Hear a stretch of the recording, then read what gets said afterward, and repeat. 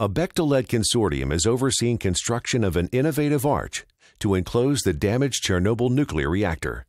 Major construction begins with grading and safe removal of contaminated topsoil from a large erection area that is located 400 meters away from the reactor.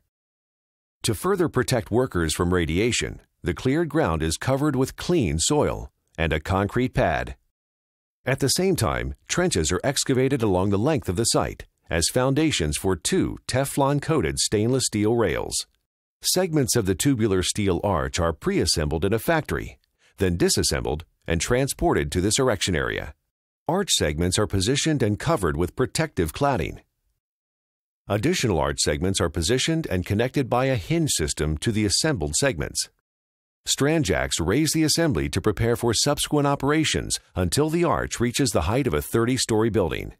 At the same time, Chernobyl's original ventilation stack is dismantled and replaced by a new, shorter stack. Remote controlled cranes and dismantling equipment are suspended inside the completed arch. A wall is constructed on each of the arch's reactor ends, and actuators slide the completed structure along the rails to cover the damaged reactor site.